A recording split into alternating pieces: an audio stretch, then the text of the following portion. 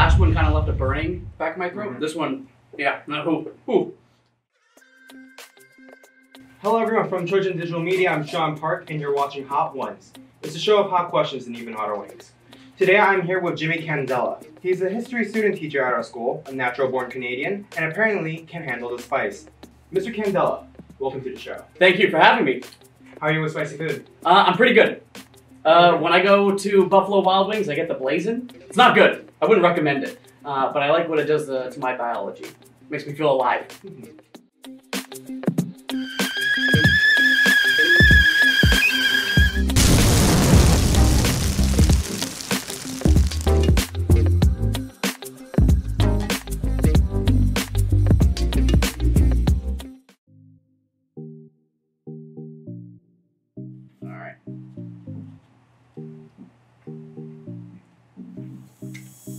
Is good. It's tangy.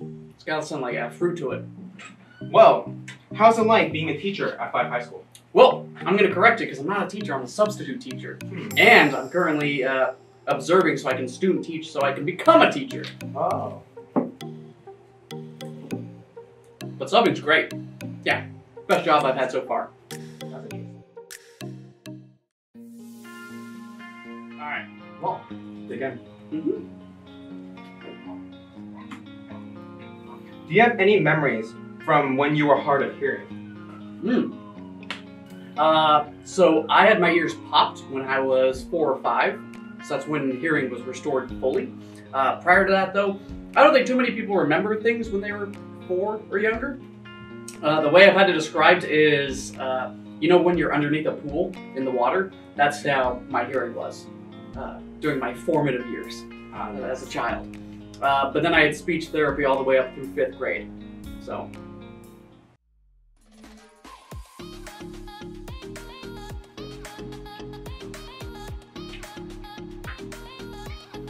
No, it's good. I like habanero. How's this treating you? Oh, it's pretty sweet. In our research, we have discovered your IMDb account and uncovered your personal filmmaking abilities. Why haven't you decided to pursue, pursue your short film career? Uh, there isn't really a short film career. Uh, I do short films with my buddies from college. Uh, I have a film production degree from Central. Um, no, I never particularly wanted to pursue that career. Either you have to go to Vancouver or uh, LA. Both are wildly expensive, so I didn't want to go there. I graduated college in the recession, so I didn't have any money. Um, so I ended up uh, working as a para for a few years and then drifted into subbing. And now I like uh, subbing. I like education. But yeah, uh, no, if I was going to break into the industry, I'd have to go to Atlanta or uh, somewhere in the deep south.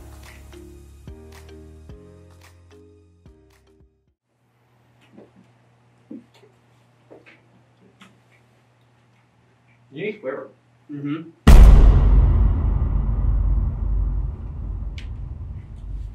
That is spicy. The last one kind of left a burning back in my throat. Mhm. This one, yeah. Ooh, ooh. Continuing on your film career, Mm-hmm. what was the best and worst moments during your productions? And what is your favorite film you have made?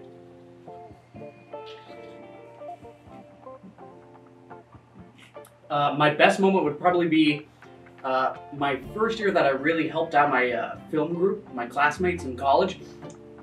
Seattle and other cities across the nation and colleges have a thing called a 48 hour film competition where you're given a genre and uh, different items, and then 48 hours later you have to turn in a short movie. Oh. Uh, so we did that.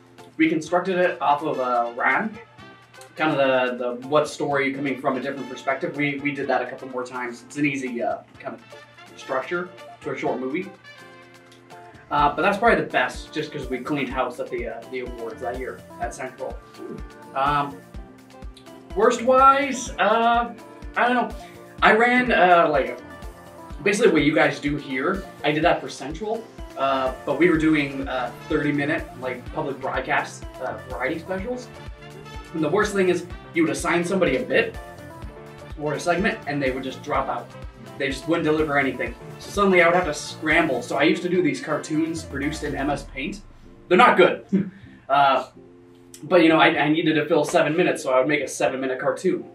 Well, I'm gonna start uh, indulging in the milk. That's fine. Ah, yeah, that's good.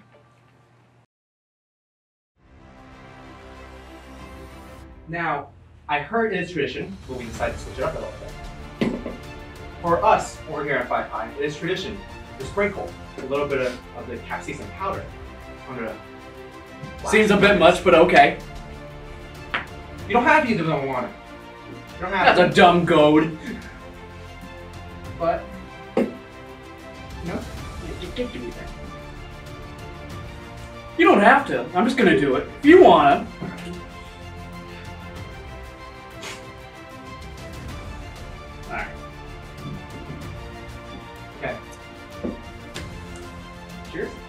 Yes.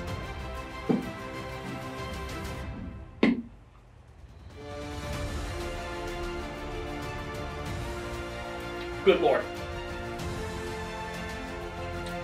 Whoa, whoa. Do you have a final question, or I sure do. gotta gotta think about it while I, while I eat this guy? What do you think about your students and your classes? Ah, they're great. Uh, I have Mr. Schelbert as my mentor teacher this year, so the kids in those classes are great.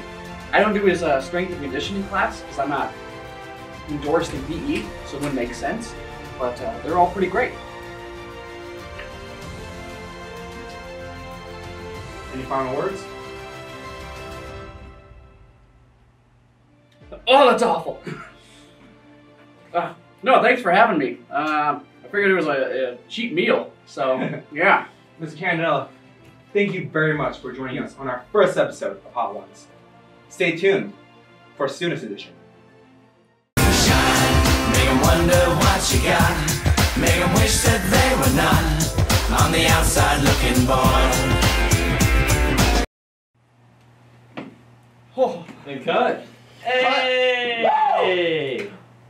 Hey, I just want to say, as a gift for doing it, you won an minion. I'm Okay. not, I'm not finishing We're that. Come on, Okay, you no. got it. You got it. No, no. Okay, we're gonna put this last bit in where you said you didn't finish it. It's going in. It's going in. Eh, wait, wait, wait, wait. Hang on. Uh, uh. Hang on. There we are.